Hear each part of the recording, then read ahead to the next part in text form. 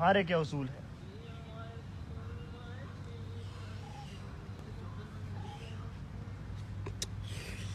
believe if somebody doesn't kill you, it simply makes you a stranger.